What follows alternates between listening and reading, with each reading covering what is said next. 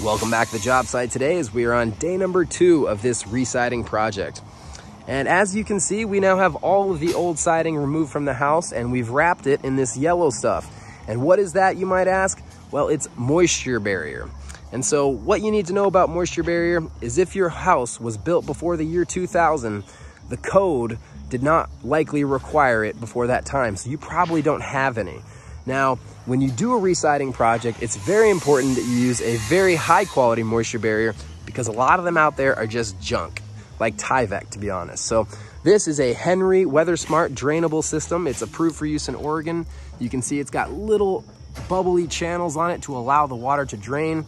And what you need to know is most of the higher quality ones are gonna be like a fabric that you can't rip when you kind of pull at them and they've got staples in, in them. So that's what I recommend. And please like, subscribe, join me for more tips on better siding and how to add more value to your home. Thanks so much, guys.